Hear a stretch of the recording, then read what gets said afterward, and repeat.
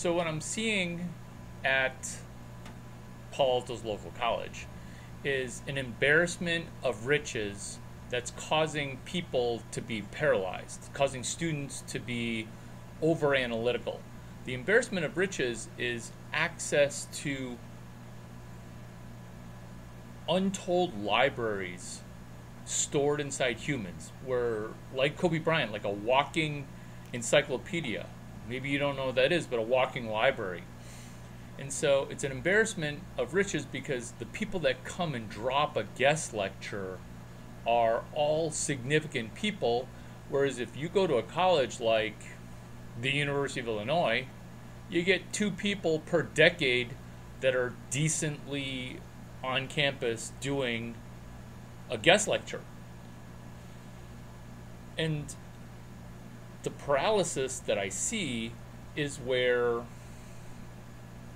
there are 15 people coaching you during one class. I mean, imagine if you're uh, literally CS183B, there's 27 celebrity guest lectures. CS183B is in boy that Sam Altman taught. No pun intended.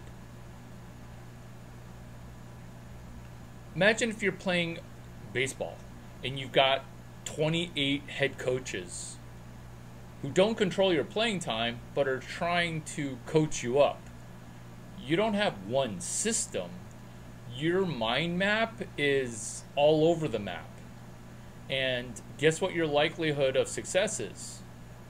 Lower because you're not Tom Brady filing information into a predetermined structure, which is the point of this video is is stepping towards a new destiny. And you might think Joe Dispenza is super uh, woo woo but then you can also go with the non woo woo book of Moonwalking with Einstein, where we're trying to put together a map. And once you avoid the step of putting pen to paper, your map is going to be non existent. An embarrassment of riches. Let's take the people who are dropping genius things into your brains via guest lectures, via lectures, and let's try to put a structure to it. Now, the first structure is not optional, it's basic, basic. The structure of PQRST. And that's why I brought to this show and tell Tom Brady. Because Tom Brady reminds me to preview, question, read, summarize, test. Because Tom Brady, the human that was named either before this Brady or after Brady in this time as a flat circle, which is which is right on cue for PQRST. Which came first? Tom Brady saying on the football field against the Kansas City Chiefs, we've previewed all these things, we've asked ourselves the tough questions, we've read and reviewed, now we just need to pass this test because we've summarized everything.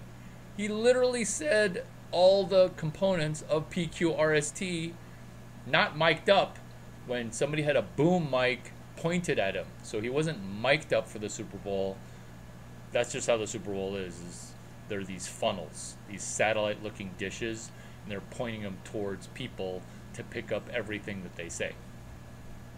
That's the first structure. So structure number one of you going to class is that you get all the content for class before class even begins by previewing it. So that way when you're taking the most mundane engineering class ever, which is going to seem advanced to other people who have never taken it. So when you're doing PQRST, you're previewing, hey, what do the first 20 lectures look like? Then you're asking questions. Hey, lecture 11 seems fuzzy, lecture 17 seems fuzzy. So when the lecturer, not guest lecturer, the primary lecturer is speaking on lecture 11, collateral default rope to choke, for example, STRAM GT353, you'll be able to sit at full attention because you have questions and the professor is going to have answers. What you're trying to do with this fourth grade reading level structure is not applying it to football where you're trying to get the defensive reads and and them the defense trying to hide their schemes you're trying to just unearth the most basic 1 through 20 which is which is studying math class before math class. And this is not done in a uh, hallucinogenic AI format.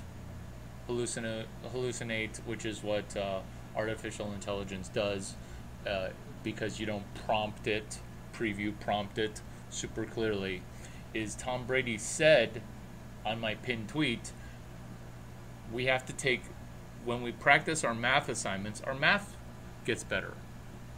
And so what you're doing there is you're getting reps in and this is not a hallucinated thing where I'm saying, hey, take math class before math class, or hearing, hey, Tom Brady said that he's repeating, hey, let's take math class before math class. This makes me sound like a crazy person, which I am absolutely not crazy, but potentially universally awesome. But but that doesn't roll off the tongue as, oh my god, Thank you for being my fan. You're absolutely crazy. But they don't even say that. They're like, you're one of a kind.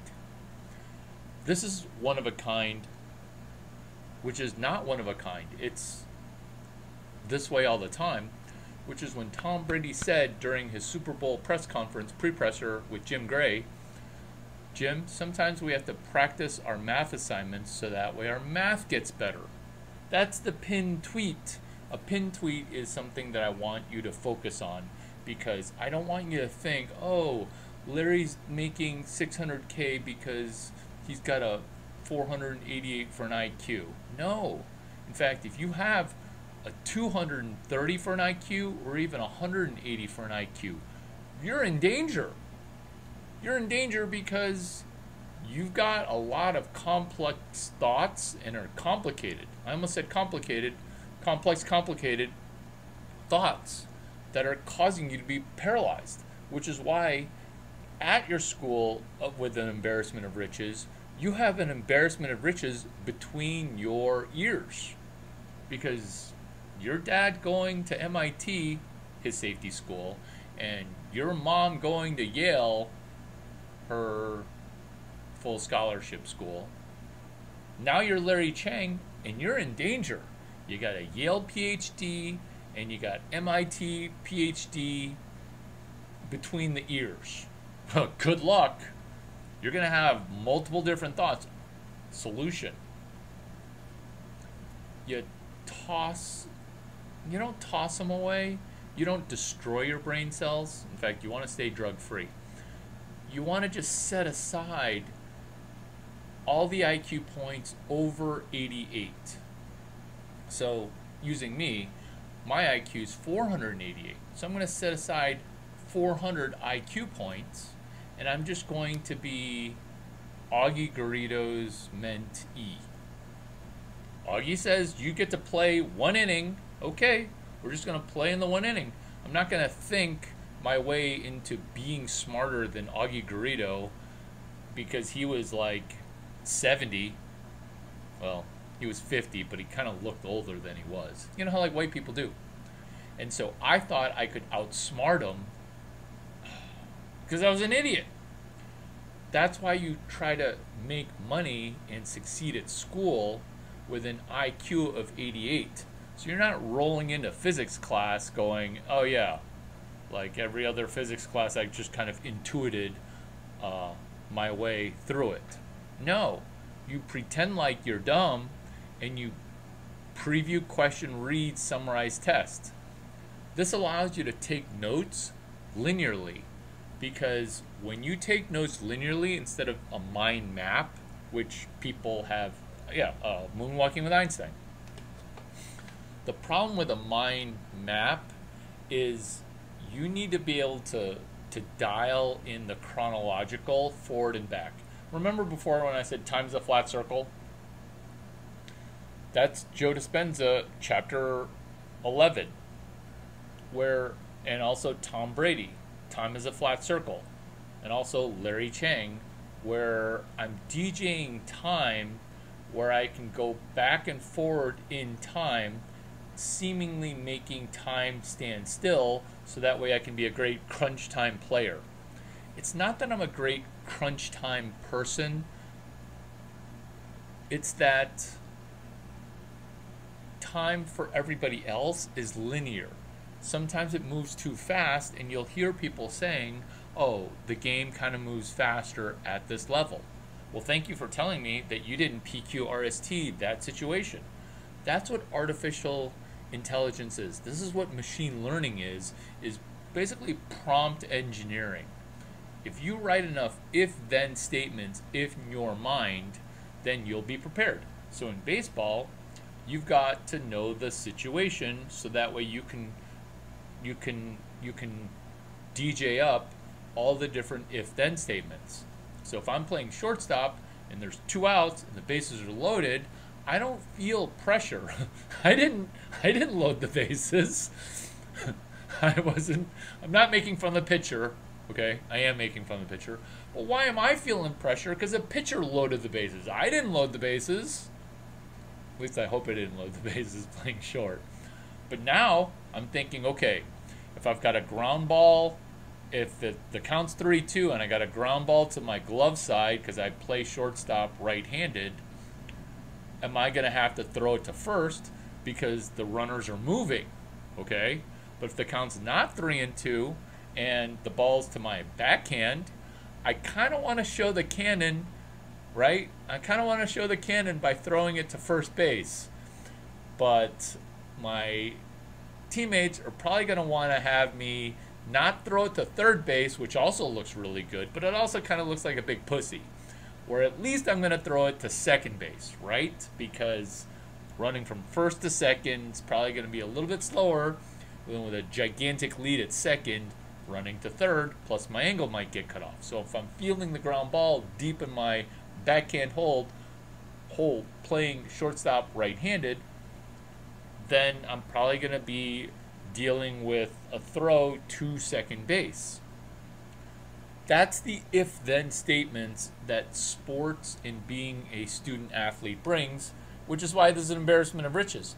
And the person I recommend that you have the structure to is Mark McCormack. Chapter 1, you're damned if you do go to Stanford Business School, you're damned if you don't. Chapter 2, Treasure Management. Chapter 3, paste Copy. Chapter 4, Networking. Chapter 5, Mentorship. Chapter 6, Sales.